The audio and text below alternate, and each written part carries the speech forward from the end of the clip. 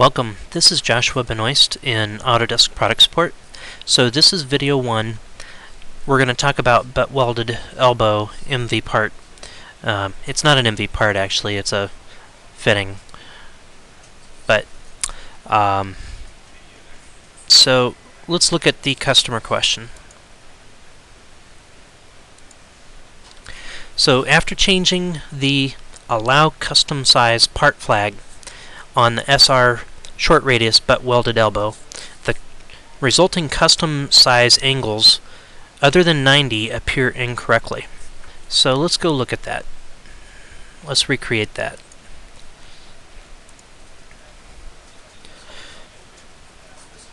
So what we want to do, we want to be on the piping workspace and we're going to start a new pipe. I'm going to go to the properties palette I want to make sure that I'm set to the right correct fitting. So if we click on fitting settings, I'm going to start off with a long radius elbow.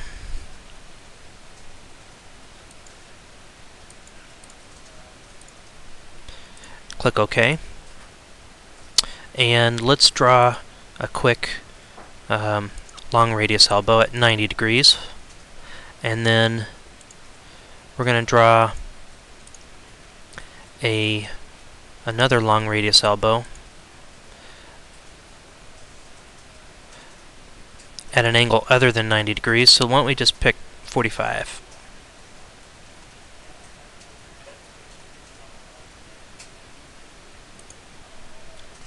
Alright. Let's change the properties we got to start our pipe command first and change the properties. Change the fitting setting and we're going to put a short radius elbow. Oh I guess we drew a short radius elbow there. Alright so let's change to long radius and do this over again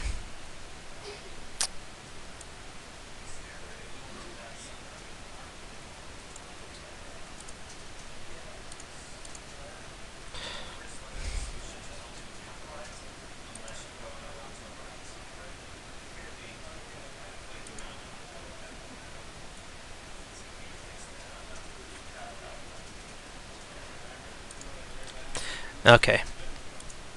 So there's a long radius elbow at a non-90 degree angle. I'm going to move this one over.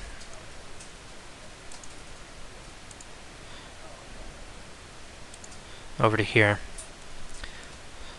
So here's a 90 degree long radius and a 45 degree long radius and a short radius elbow there.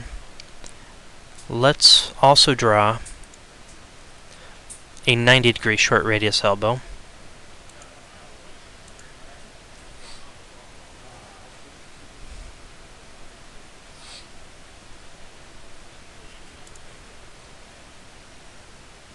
So we're defaulting to that.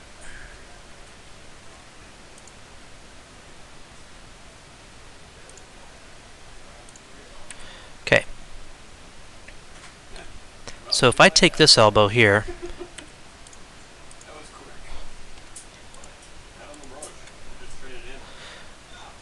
we're going to move it directly on top of this guy.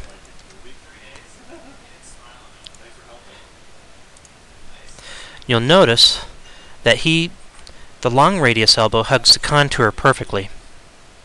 So for the long radius 90 degree elbow, the 45 degree elbow is drawn correctly in a long radius. We didn't have to change anything.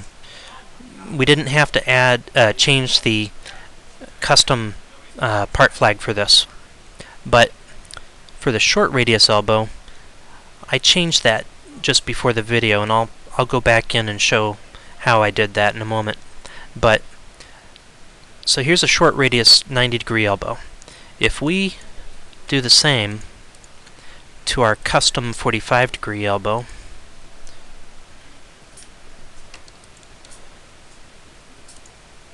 put them right on top of each other, you'll see right there that the long radius, uh, the, the 45 degree